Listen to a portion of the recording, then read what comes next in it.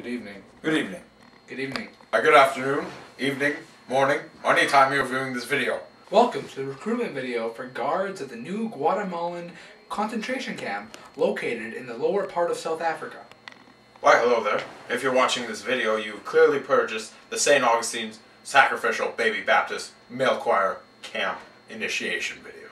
This is the recruitment video for St. Augustine's Sacrificial Bible Camp 2009.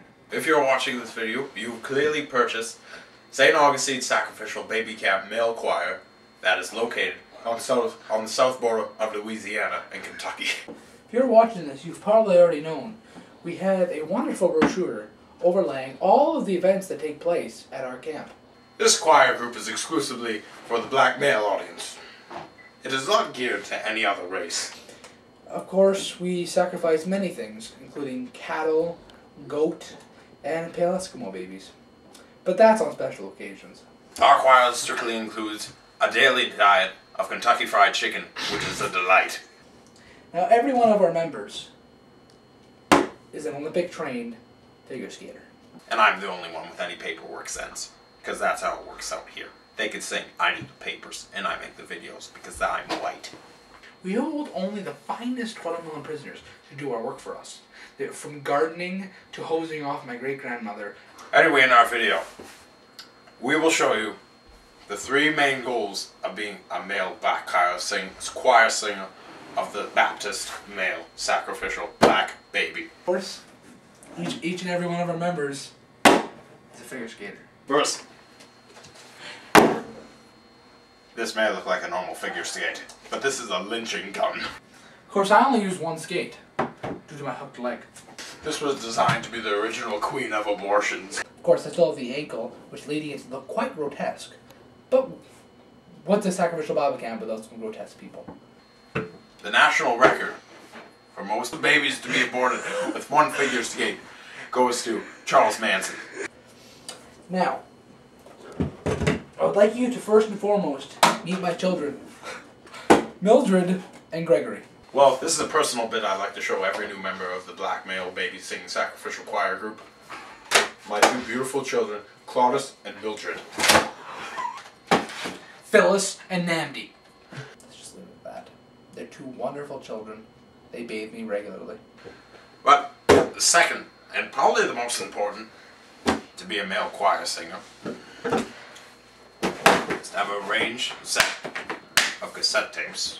Throughout, throughout the semesters, you are given multiple cassettes. Ranging all the way from not David Sanborn.